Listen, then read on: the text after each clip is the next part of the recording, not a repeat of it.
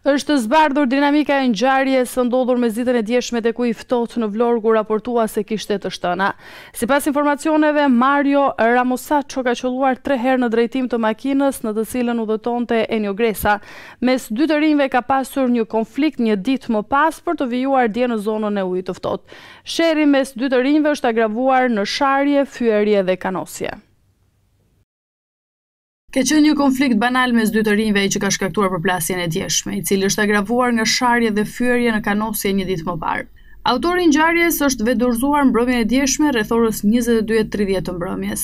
Ndaj MR rëndon akuza e kanosjes. I riu ka pranuar konfliktin e ditës së djeshme mes tij dhe Enio Gresa. I dyshuar si autori i të shtënave me armë në Ujin e Ftohtë ka theksuar para bluve të Vlorës se ka kaluar pranë vendit të ngjarjes pasi ka parë Enio që ka parkuar aty. Nuk kisha shkuar ta kërkoja, e pashë dhe ndalova. Doja të sqaroja me të një bisedë. Kisha në makinë një pistoletë manovër që e mora me vete. Nuk kam pasur asnjë motiv ta qëlloja, ka qenë për ta trembur. I frikësuar nga të shtënat, Gresa ka njoftuar policinë dhe bashkëshorten. Ai është larguar nga vendngjarja pasi ka deklaruar se është frikësuar, ndërsa policia dyshon se ai ka qenë i armatosur dhe është larguar për të fshehur armën.